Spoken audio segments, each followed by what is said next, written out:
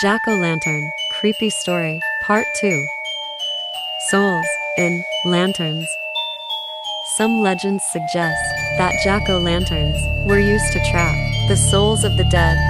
People believed that the eerie light inside these lanterns represented trapped spirits, grinning faces.